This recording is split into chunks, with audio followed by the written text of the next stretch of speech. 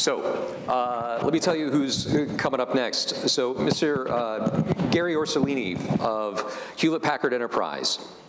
Uh, he is Technology Director for Hewlett-Packard Education Services Technology Consulting. He's been involved with technical innovation for over 30 years. He manages worldwide engineering teams responsible for HP's technical learning infrastructure. Garry holds three patents for collaboration software and understands how distributed worldwide organizations can best utilize communication and collaboration-enabled business processes, or CEBP, to enhance organizational efficiencies. So please welcome Mr. Garry Orsolini.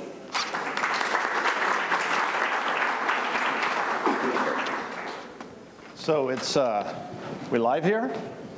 So it's a, uh, a real pleasure to be here today with you all, and uh, it's not just uh, my pleasure because Chris, the pulled pork, was fabulous. Ah. You know, I'm just saying. So it's because um, of the excitement about the uh, debut of the HMT1 and, and, what it's bringing to the marketplace. Um, I'm not just excited, I'm, my daughters have taught me, they abbreviate it's V. I'm V excited, okay? If you, so you know you can say it's V cool, well, I'm V excited.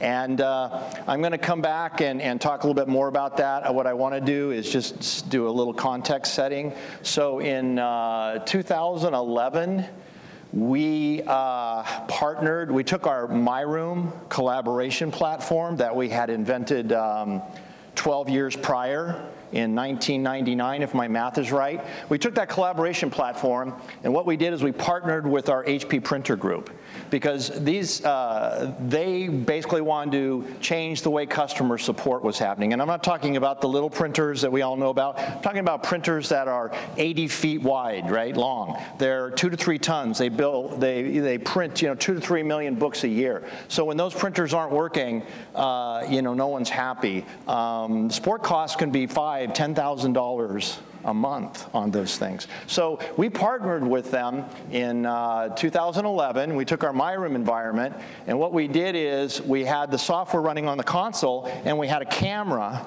on a wand. And in, when something would happen with the printer, instead of them picking up the phone, they'd touch the console and it would connect in MyRoom that console, to our support engineers, their support engineers at that time we were, to, uh, and they would basically in 15 seconds say, uh, you know, Bob at ABC Printing, what's going on? And so the metrics we would develop is number one, reduce the time to respond. So I'll, I'll leave it to you to figure, instead of getting on a phone and calling, if you can touch you know, console and in 15 sex, seconds be connected to somebody that says, Bob, you know, show me your problem, you know, that reduced the time to respond. The second metric was reduce the time to come to a common understanding of the problem. Well, now they can see and try to fix a problem, but you can see the inherent difficulty with the camera on a wand. So then, basically in 2013 when Google Glass came along, we jumped on it, we had an Android client, we integrated it into MyRoom, and we started down that path. So we've been doing wearables uh, for, you know, was that four years? But now back to, that's all the past, that's history. What about today? Why are we excited, V excited? We're excited because the HMT1 I think is a game changer. I heard the word gateway from, I think, uh, uh, Andy, is uh, a gateway device, basically. And I think that's what it is. So I'm going to show you one slide, and I'm going to need my glasses here, if you bear with me, to show you what the demo is going to look like, and then we're going to jump right into the demo. So um, let's see here. If all the technology is working here. So um, this is what we're going to do. So VRG, Visual Remote Guidance, we co-invented it with, you know, in, in 2011. Uh, it's the remote mentor. And uh, what we're gonna do is it connects devices securely through the cloud, fully encrypted. And so what we're gonna do is we're gonna connect, I'm anywhere in the world, they're back in the brewery there on the HMT1. They're anywhere in the world, and we're basically, that's the demo that we're gonna do. So we're gonna pull this down, we're gonna bring up the environment, and we're gonna Hope for the best. So we can already see that Chris is in there. I'm going to get rid of this slide, Chris. So Chris is basically seeing everything uh, that um, we're doing here. It's full collaboration. So what I can do, a lot of the devices are hard to interface with. One of uh, the most amazing things about the HMT1 is about you can just talk to it. And we spent a few days working with the team, and we've already enabled basically, um, you know, all these different commands. So that all works. So when you use run VRG, and you talk to it, you can do all these things.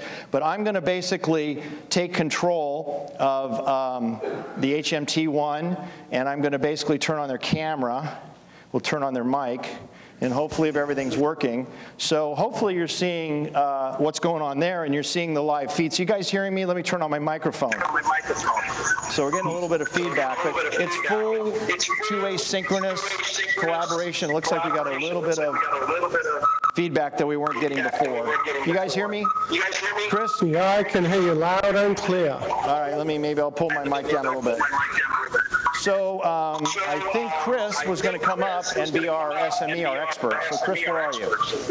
Oh, you're right behind me. Hey, good. Okay, Chris, so why don't we uh, go ahead and um, what I'm going to do to get a little bit more clarity, I'm going to pop this off and put the video there, and we'll, we'll get to the demo mode. So there's the live video. So again, this is going from here to our servers in Houston and back in real time. So this is not peer-to-peer. This is real world, kind of, uh, it's real. There's no magic here. So go ahead, uh, Chris, what do we want to fix? What do we want to fix? So Chris, it seems like you have an issue with the bottling line there. Can you tell me? Yeah, I'm at the bottling. I'm at, I'm here at the bottling machine, and nothing's happening. Okay. Um, that's a problem. So can you tell me what you see on the screen there? You can look at the screen a little more Yeah, let's, closely. let me have a look.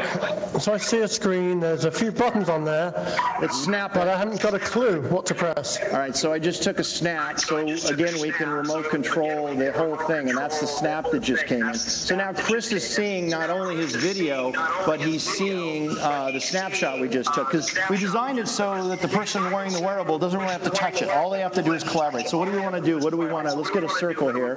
We want to get a circle, and once I make it, we can move it around. So we're, we're going to annotate on the, um, Right there on the reset button. that's the, re- I got it right. Oh, It's almost like we might have, pra- no, okay. So there's the reset button. So Chris, if you could go ahead, and Okay. pr- if you could press that reset I see, button for me. I see the button. I will press it now. Got it. Okay, now Chris, can you walk around to the other side of the machine where you actually feed the bottles in? Sure. i Let me uh, have a step around here.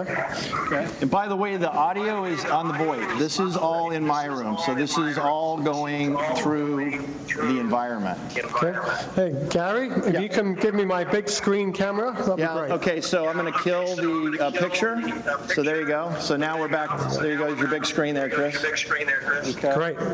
So it looks like you're all set. Go ahead and uh, go back to the screen, and and I want you to press auto run. Auto run, huh? Okay, I can figure that out, I think. Let me have a look. Can you guys imagine if I'm fly fishing somewhere, I don't have to be here anymore, and they can just call me? Hey, Chris, you need some light? You need some light? Let me turn on your light for you, Chris. Okay, turn on See, I the just, flashlight. I There, just turned on the light Right. remotely for him, and if they, uh, Auto run, here we go. Oh, something's happening. I'm scared. Don't be scared, it'll be fine. Can you see things happening? yeah, it looks like I can see that you're actually filling bottles. Everything looks good. So we can also telestrate on the uh, on the live video as well. So let me pick up. Uh, we'll, we'll take up pick up a, a drawing tool Uh, here. uh, there's a problem. Yeah, it There's a problem, like, guys. yeah, it looks like you didn't put another row of bottles on there, Chris. Chris is, Now what? Chris doesn't work for me, so he's trying. So where would the row of bottles go? So The actual row of bottles go right across there, so if you all can right. annotate So that right okay, there. Okay, yeah. So right in here. Yeah, he needs to load a whole other set there. Yeah. That, You know I- what? They don't they don't really trust me to do the bottles, but Jesse here is going to come and help us. Say hi, Jesse. Brilliant. Jesse knows what to do. But so I'm now the remote manager. Perfect. Look at this man go. You're hired. Let me get rid of that. Okay. Okay, so now just go back to the panel, and you're going to Okay. uh, hit reset. Jesse. Hit reset. I'm hitting reset now. Okay, and then go ahead and set auto run. Got it. Now I can get back to fly fishing. All right.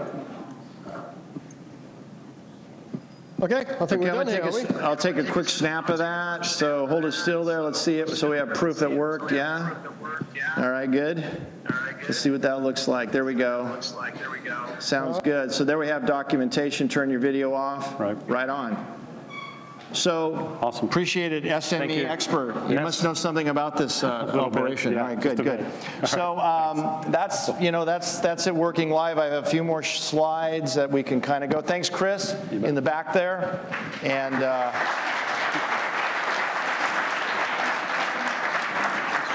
so in terms of, uh, I want to be uh, cognizant of the time. Do we, how much time do do we chew up?